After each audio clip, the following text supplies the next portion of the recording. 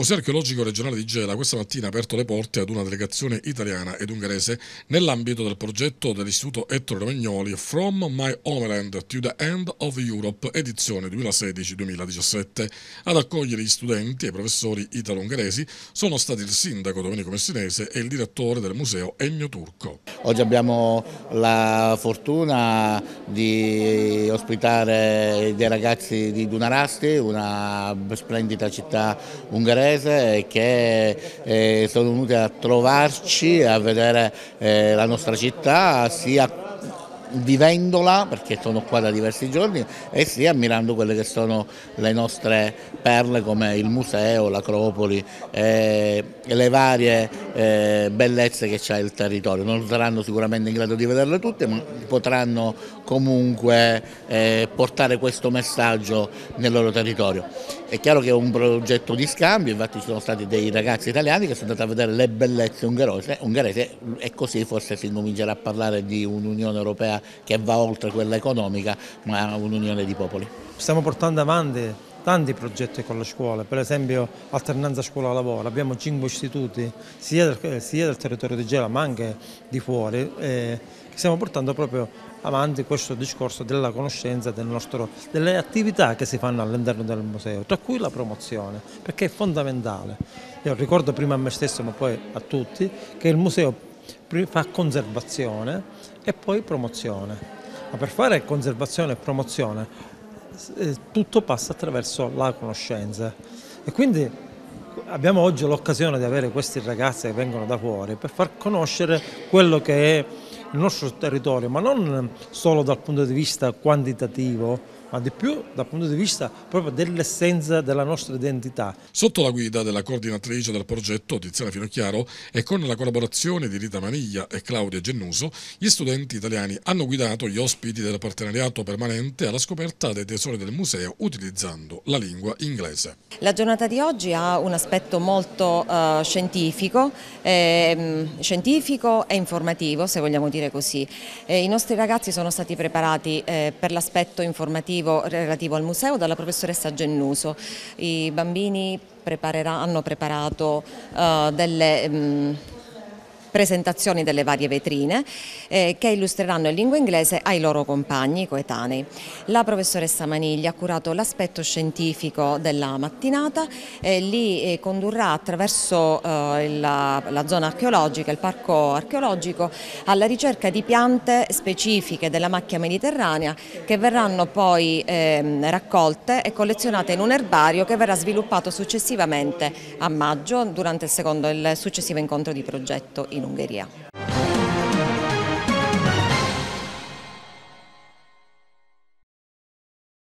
L'Istituto Ettore Maiorana di Gela, Plesso Fermi, da oggi ha un campo di calcetto. Sorge in contrada Marchitello. L'inaugurazione è avvenuta questa mattina. Per l'occasione si è svolto anche un triangolare di calcetto tra le squadre dello stesso istituto. C'è stata anche un'esibizione delle alunne del liceo artistico e dei servizi sociali. In genere quando si realizzano delle strutture sportive poi si cedono alle società eh, che se ne occupano in maniera autonoma.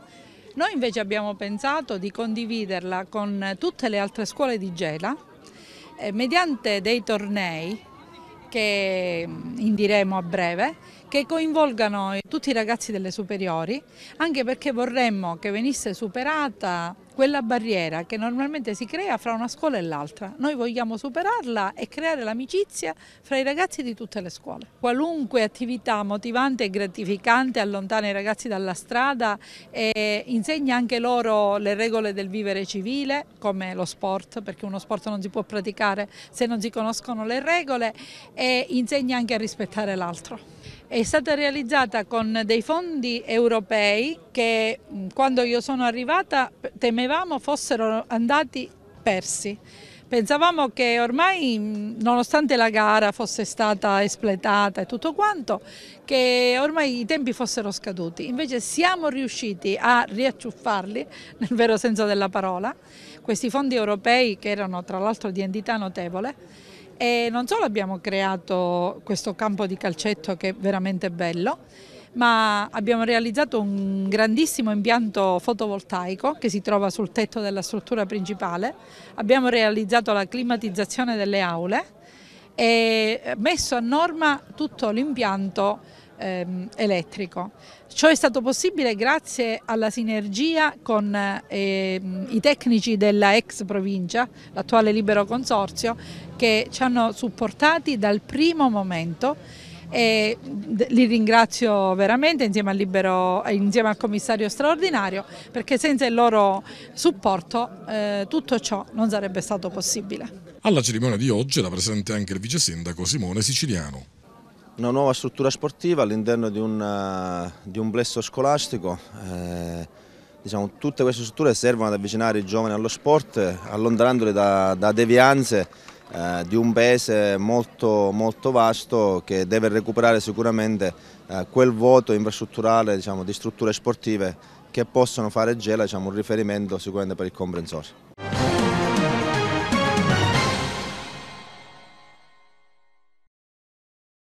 Per quale motivo si è dimesso in tutta sincerità? Per uh, sopraggiunti impegni di carattere personale, già ieri sera ho rappresentato al sindaco la necessità di rassegnare le mie dimissioni per curare eh, il mio lavoro e i miei affari personali. Ma questi impegni non ce l'aveva anche prima quando firmò proprio la carica che le diede al sindaco? Eh, sì, mh, mm, senza dubbio ho cercato di organizzare la mia attività in maniera da poter dare il meno fastidio possibile ai miei clienti, ma gli impegni sono talmente tanti che non si riesce a, a dare eh, istanza insomma, alle varie richieste che arrivano invece dalla mia attività professionale tutte le critiche che le sono piovute addosso, ci rivediamo agli screzzi con l'architetto Tuccio, gli ombrellini in corso Vittorio Emanuele, le hanno fatto male e l'hanno poi indotta anche a dimettersi? No, no, assolutamente no. Il, I problemi e le diatribe di carattere politico, critiche strumentali spesso, mi hanno dato anzi invece una maggiore forza per eh, poter rimanere in carica e concludere con uh, un grande successo l'estate gelese, con oltre 90 eventi in 60 giorni o tutte le operazioni effettuate con la Polizia Municipale, eh, sia sulla viabilità che per quanto riguarda l'ufficio formazione, che rimane eh, un'istituzione creata insomma, da mio impulso e che ha dato molta soddisfazione a me personalmente, a tutta la giunta e sarà utile alla città. Ci sono stati anche alcuni consiglieri comunali che hanno chiesto le sue dimissioni qualche settimana dietro. Ho già all'inizio, proprio all'inizio del mio incarico, abbiamo avuto una seduta di consiglio comunale monotematica su di me, ma come si dice insomma, in questi casi, tanto nemici e tanto onore. Lei fino a qualche minuto addietro è stato assessore anche allo sport, le chiedo a che punto sono i lavori al Vincenzo Presti? I lavori al campo Vincenzo Presti sono conclusi già. Io ho lasciato il Manderboso del Vincenzo Presti completamente ristrutturato anche grazie all'aiuto del collega e amico Flavio Di Francesco con cui c'è stato un grande lavoro di riportare in auge questo campo e lo stadio Vincenzo Presti anche le, i gazebo, i box della stampa sono stati riparati e adesso tutto sta nella gestione, nella gestione del campo. Che voto si dà in questa esperienza? Se fossi un, un componente esterno io mi darei 9 perché in tutti gli ambiti della mia delega sono riuscito ad ottenere dei grandi risultati. Anche la protezione civile ha avuto il com da parte del prefetto, è stato uno dei comuni della provincia di Caltanissetta in cui è stato riconosciuto il centro operativo misto oppure tutte le attività di prevenzione che abbiamo fatto ma che non, non si sono viste fino a questo momento. La polizia municipale rimane il, il mio cuore dove ho trovato dei validi dipendenti comunali professionali, sempre leali e ligi al dovere, ma sono stati fantastici anche quelli del settore sport e turismo e spettacolo, su cui abbiamo cercato proprio per quest'anno di inserire il nostro comune nelle mete turistiche dei comuni limitrofi. Non è sempre esagerato 9 come voto? No, non è esagerato.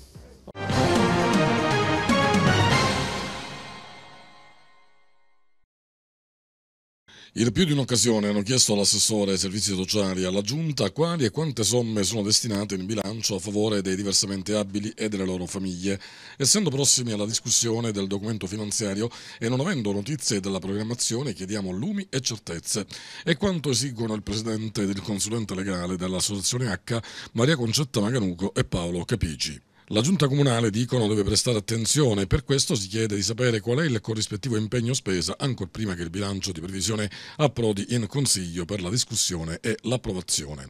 L'associazione H vuole sapere gli importi dei fondi destinati al servizio di trasporto speciale, scolastico e riabilitativo, quello destinato al servizio per l'assistenza igienico-sanitaria accoglienti nelle scuole dell'obbligo per gli alunni non autosufficienti, l'importo delle somme destinate al personale specializzato e agli assistenti della comunicazione, i fondi destinati alla incentivazione e la pratica dello sport dei diversamente abili ed ancora i fondi indirizzati al servizio di aiuto domestico agli infra 65 anni non autosufficienti e i fondi destinati agli anziani ultra 65 anni non autosufficienti. La giunta comunale, rilancia l'associazione H, deve dirci qual è l'importo delle somme destinate alle case famiglia, comunità alloggio, case protette e centri diurni, anche con riferimento agli importi che l'ente eroga a favore dei soggetti collocati fuori provincia e fuori regione. Nella nota Magarunco e Capici inoltre chiedono di sapere se e quali provvedimenti l'amministrazione intende adottare nei confronti di privati e organizzazioni sociali che pur occupando strutture comunali non offrono reali e concreti servizi alla collettività. L'associazione H sottolinea che ultimamente sono giunte lamentele di parecchi genitori che ad oggi non hanno ricevuto per i loro figli il servizio di trasporto scolastico, quello di accoglienza e quello dei servizi specialistici previsti dalla legge 104. Non escluso che l'associazione H si rivolga alla Procura e alla Corte dei Conti.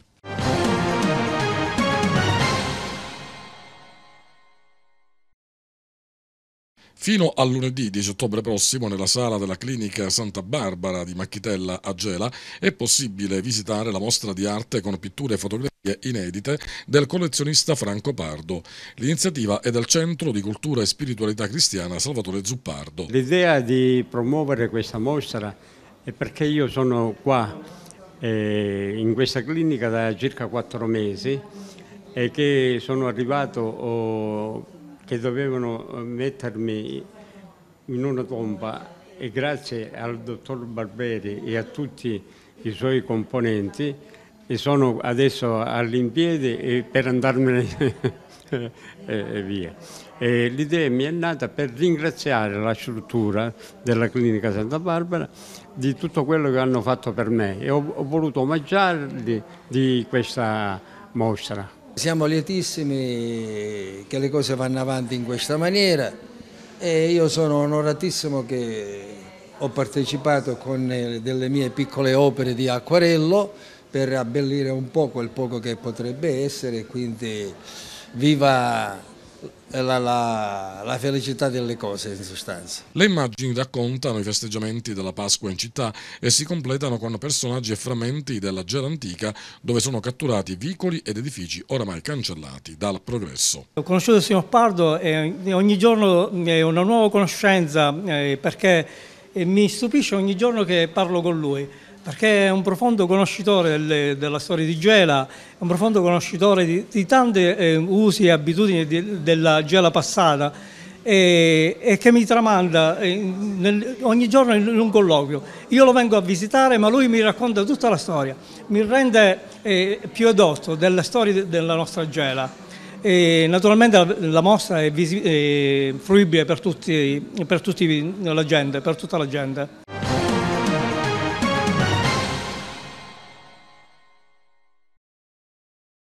Un amico a quattro zampe a scuola al fine di far conoscere e riconoscere il ruolo del cane come compagno di lavoro dell'uomo. È l'iniziativa che si è svolta questa mattina nell'Istituto Scolastico Ettore Romagnoli di Gela alla presenza dell'unità cinofila della Polizia di Stato. Noi siamo impegnati su una fascia di età molto particolare che è quella dei bambini che va dagli 11 ai 13 anni che contempla una serie di problematiche talmente grandi, talmente talvolta pesanti da gestire per l'individuo e per le famiglie che noi come scuola e come quindi agenzia formativa non possiamo che metterci a fianco delle famiglie e delle altre istituzioni proprio per quel processo di cui le parlava, vale a dire la ricerca di una condizione di benessere nelle relazioni, nella comunicazione comunicazione, nella gestione della propria individualità in rapporto a quella degli altri, che è necessaria per diventare poi delle persone serene, equilibrate, capaci di vivere nel mondo. E questo lo dico non solo per i bambini che hanno tante possibilità di affermarsi nella vita, ma anche per i tanti altri bambini speciali, ma comunque straordinari, che a fronte di difficoltà di varia natura riescono comunque a fare un loro percorso scolastico e quindi anche un loro percorso di vita. La giornata di oggi è dedicata ad una illustrazione eh, di come avviene in effetti eh, ricercata in questo caso la sostanza stupefacente da parte di una specialità della Polizia di Stato che appunto si occupa di attività antidroga e questo è un esempio eh, un esempio soltanto di come le specialità sviluppano eh, delle, mh, delle, specifiche attività anti, anticrimine, in questo caso appunto dedicate a questo particolare settore che è l'attività antidroga, ma eh, il nostro intento è quello di eh, sviluppare una maggiore vicinanza con, con gli alunni propedeutica a incentivare anche il loro dialogo verso le forze dell'ordine, a sentire una maggiore vicinanza e per maggiore vicinanza intendo la libertà che ciascuno studente senta dentro di sé di rivolgersi alle forze dell'ordine quando ne ha più bisogno. Il progetto rientra nelle attività per l'area a rischio 2016. Abbiamo sempre come obiettivo principale quello che è educare i ragazzi alle relazioni uomo-animale. Ehm, in maniera specifica quest'anno parleremo di quello che è il ruolo del cane come compagno di lavoro dell'uomo. Per questo motivo abbiamo avuto diciamo, di diverse associazioni, quindi diversi professionisti, primi dei quali verranno l'unità cinofila della Polizia di Stato di, di Catania, che ci parlerà quindi dell'addestramento del cane, quindi come compagno di lavoro dell'uomo, del cane poliziotto nelle diverse specialità. Nelle diverse specialità. Poi avremo anche l'associazione la, Amici di Mita, il, sempre nel 21 ottobre, se non, non, voglio sbagliare ho le date fissate. Eh, il 21 ottobre è un'associazione di Ispica che si occupa dell'addestramento dei cani in aiuto del diversamente abile e della pet therapy.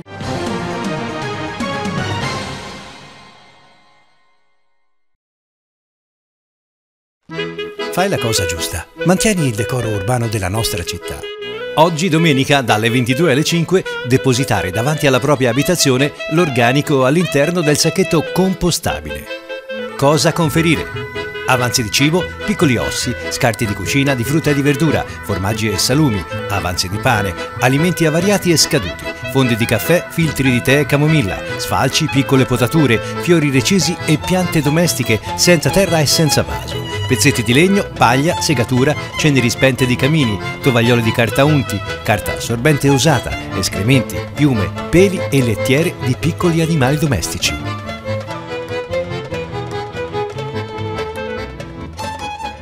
Per un ambiente pulito e sano basta un piccolo gesto.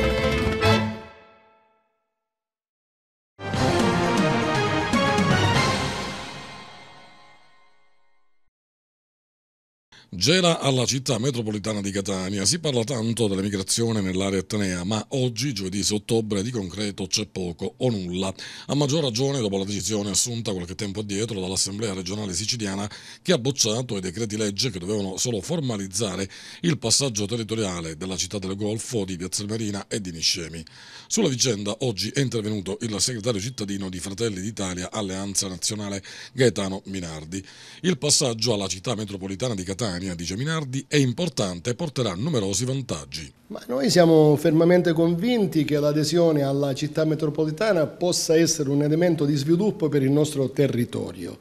Eh, c'è molto poco in giro, siamo stati ingannati e illusi da quelli che sono i politicanti di turno i quali hanno promesso mari e monti, hanno promesso sviluppo, hanno promesso porti, aeroporti, hanno promesso riconversioni, eh, riconversioni della, della, raffineria, ma a oggi nulla e niente di tutto questo. Quindi riteniamo che l'adesione a Catania, che certamente è una città molto più economicamente diversa dalla realtà nissena possa rappresentare un, un, un elemento di sviluppo per, per, per, le nostre popolazioni. Certo poi dipende, dipende, dai rappresentanti che Gela riesce ad avere e quello che riescono a contare in un contesto come la città metropolitana di Catania. Gela ha speso quasi 200.000 euro per promuovere il referendum popolare del 2014, in tanti hanno detto sì all'emigrazione da Caltanissetta, da allora ad oggi però non è cambiato nulla. I nostri deputati o i nostri rappresentanti nei vari parlamenti dovrebbero essere quantomeno rispettosi di quella che è la volontà popolare, se no rischiamo di valere quanto il due di coppe. Già contiamo poco per questi signori, ma se non tengono conto nemmeno di un referendum popolare eh, andiamo proprio male. Il segretario di Fratelli d'Italia Alleanza Nazionale si rivolge direttamente all'amministrazione comunale. Noi dobbiamo capire, capire l'amministrazione comunale se è d'accordo e mi pare che Messinese e la sua giunta sono concordi a questa adesione di progetto all'adesione all'area metropolitana, di conseguenza devono rispettare tutti gli atti inerenti a questa richiesta.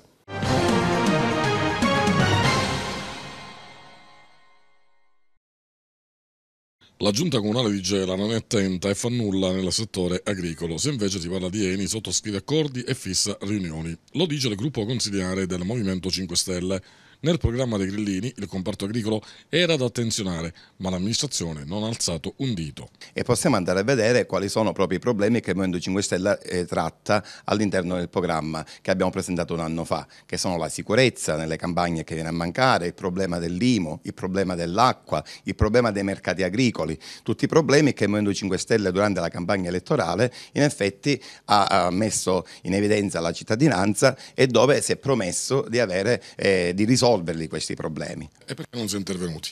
Purtroppo a distanza di un anno, anche quando il sindaco dice e l'ha detto anche in aula consigliare, che lui in, quest'ultimo anno, in questo anno ha eh, espletato il programma del Movimento 5 Stelle, questo francamente non è vero, perché tutti questi punti non sono stati toccati dall'amministrazione. Dunque è un problema riconducibile solo alla giunta comunale che non ha fatto nulla?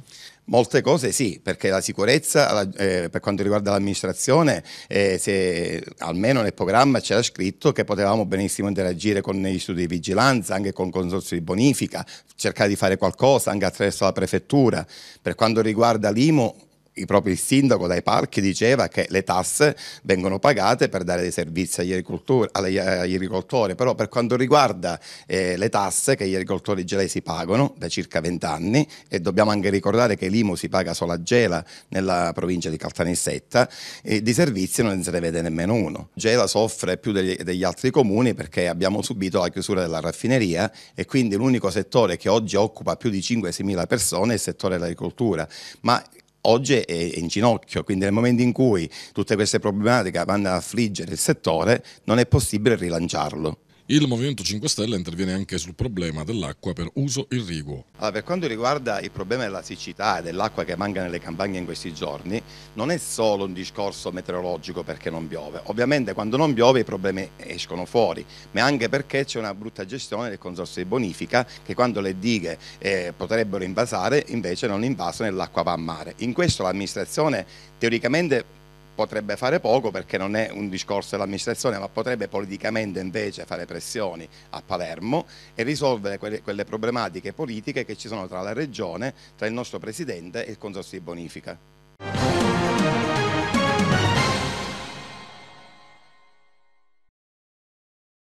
Un vero e proprio scrigno giace nei fondali marini di Gela, giace infatti per mancanza di finanziamenti regionali. Veri e propri giacimenti culturali che potrebbero rappresentare un volano per il turismo, per l'economia e per l'occupazione giovanile del territorio.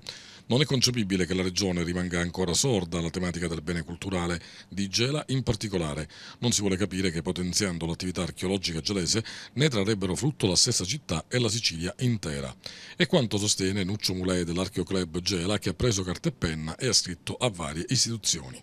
Non si interviene perché, a mio modo di vedere, non si capisce l'importanza di quello che si potrebbe trovare eh, fondali, nel fondale del mare di Gela. Eh, ultimamente ho letto un articolo, si riferiva al 2000, dove un archeologo francese con, delle, eh, con dei sonar eh, e delle onde magnetometriche eh, è riuscito a mappare una zona eh, canopica del Nilo prospiciente il Mar Mediterraneo, dove ha ritrovato con questo tipo di mappatura una città sommersa, Eracleion. Vedi caso, eh, vedi caso eh, la, la, omonimia con la nostra città che un, nella fase di, di, fondazione si chiamò Eraclea vero e proprio. Quindi una coincidenza. E quindi mi chiedo io, perché non si riesce a mappare questo fondale che ha dei tesori sommersi? Ma sono tesori della seconda guerra mondiale da una parte e di archeologia eh, greca dall'altra parte.